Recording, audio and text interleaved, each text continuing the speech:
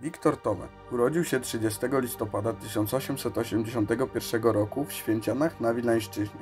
Młodzieńcze lata nauki spędził w Lidze, Dyneburgu i Petersburgu. Po ukończeniu szkoły oficerskiej wziął udział w wojnie rosyjsko-japońskiej. Podczas I wojny światowej walczył m.in. w szeregach 276 Pułku Piechoty oraz na froncie rumuńskim. W armii carskiej dosłużył się stopnia podpułkownika. Pomimo wieloletniej służby dla obcego państwa nigdy nie zapomniał o swej polskości.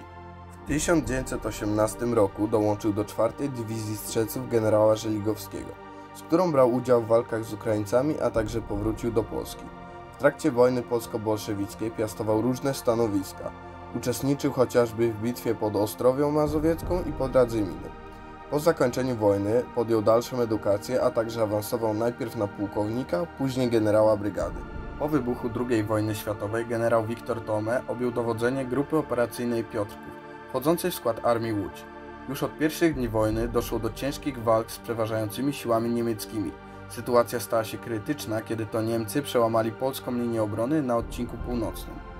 8 września objął dowodzenie nad resztkami Armii Łódź i opracował plan przebijania się do stolicy. Próba ta jednak się nie powiodła, więc skierował armię do Modlina i 13 września przejął obronę twierdzy. Dzięki heroicznej postawie obrońców, mimo ciągłego ostrzału i bombardowań, Niemcy nie zdołali jej zdobyć. Dzień po kapitulacji Warszawy i wobec trudnej sytuacji dalsza obrona straciła sens i dowódca zadecydował się poddać twierdzę Modlin. Wynegocjowano honorowe warunki kapitulacji, lecz Niemcy ich nie dotrzymali, a sam generał trafił do niewoli, w której przebywał niemalże do końca wojny. Po wojnie przebywał na leczeniu we Włoszech i Francji, a następnie udał się do Wielkiej Brytanii, aby w 1947 powrócić do Polski. Podobnie jak wielu przedwojennych oficerów nie był mile widziany przez władze komunistyczne. Zgłosił się do wojska, lecz jako inwalida wojenny natychmiast został przeniesiony w stan spoczynku, ale bez prawa do renty czy emerytury.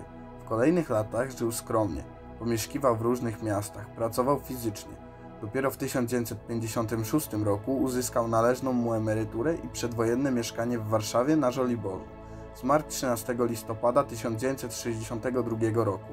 Został pochowany w Alei Zasłużonych na cmentarzu wojskowym na Powązkach. Całe życie generała Tome było walką. Był człowiekiem czynu.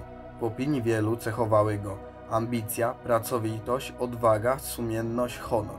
Podwładnych traktował z szacunkiem, serdecznością i bezstronnością, czym zjednywał ich serca. Wielokrotnie ranny, zawsze stawał w pierwszym szeregu. Trzykrotnie odznaczony krzyżem Vitutti Militari, Orderem Odrodzenia Polski i czterokrotnie krzyżem walecznych. Prezydent RP na emigracji August Zalewski awansował go pośmiertnie do stopnia generała dywizji.